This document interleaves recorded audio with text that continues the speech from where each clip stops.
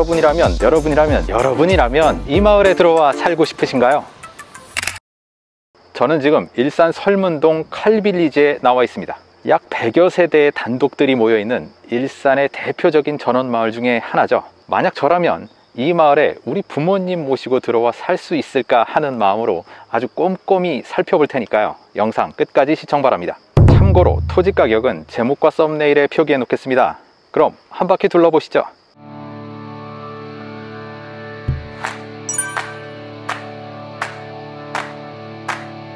중년 신사 같은 전원마을 예전에 대한항공 기장님들이 한 분, 두 분 이곳에 모여 살기 시작하면서 지어진 이름 칼빌리지 어때요? 전체적으로 중후한 매력이 느껴지시나요? 건물이나 차량, 마당에 놓인 세간살이 등으로 보면 전원 생활 내공 꽤 깊으신 분들이 많아 보입니다. 물론 새로운 얼굴들도 없는 건 아니고요. 근데 여긴 일산 어디쯤일까요? 지도로 보면 대략 이 정도쯤 됩니다. 여기가 일산 생활권이니까요. 주요 인프라와의 거리도 꽤 괜찮은 편이죠. 천천히 마을을 돌다 보니 슬슬 궁금한 게 생겨나기 시작했습니다. 아니 큰 길은 이 앞에 2차선이 전부인가? 여기서 일산 시내나 서울 가려면 어떻게 가야 되지? 버스는 있고 근처에 학교가 안 보이네. 아이들 있으면 여긴 좀 어려운가? 일산에 큼직한 종합병원 많은데 여기서 가려면 어떻게 가지? 또 편의점, 마트는 어딨고? 아 그나저나 주변에 공장 창고 참 많네. 이건 대체 어떻게 해석해야 될까?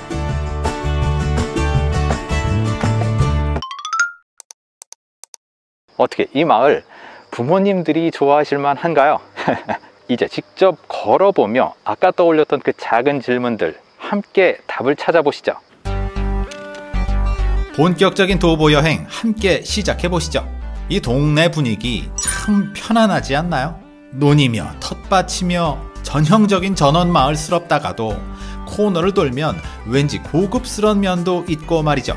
아, 최근에 이 마을 주변에 큼직한 호재가 하나 완성됐습니다. 바로 이 서울 문산 고속도로. 요즘 이것 하나로 동네 가치가 완전히 새롭게 재평가되고 있다죠. 하지만 여기서 진입하려면 살짝 돌아가야 합니다. 이렇게 말이죠.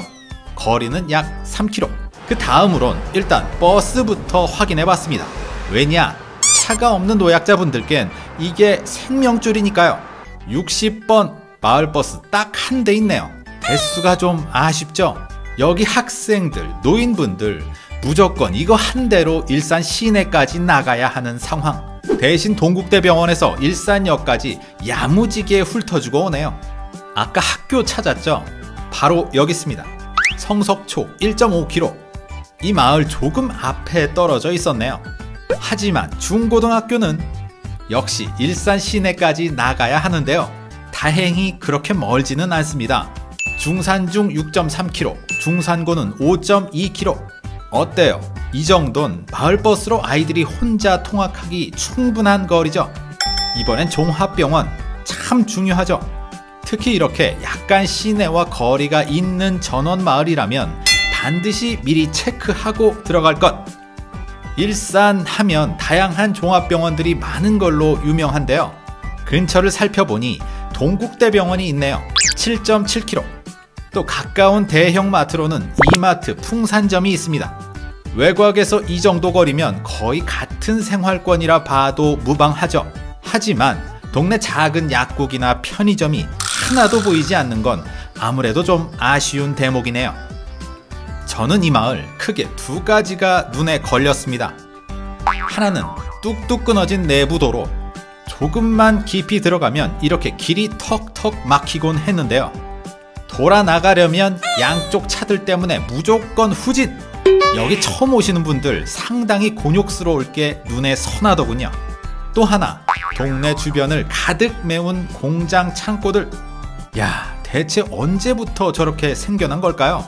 마을 입구에 이 표지성마저 없었다면 다 같은 공장 창고로 보였을 정도. 에이, 이 정도 없는 전원 마을이 우리나라에 어딨어? 물론 압니다. 뭐 그렇게 생각할 수도 있죠. 하지만 그건 순전히 파는 사람 얘기. 거기 들어가 살 사람 입장은 완전히 다릅니다. 매일 아침 지게차 소리에 눈을 뜬다. 안 그래도 좁은 도로 집에 갈 때마다 대형 트럭들로 항상 밀린다. 글쎄요, 기분이 어떨까요? 이 부분 반드시 염두해 두시길 바랍니다.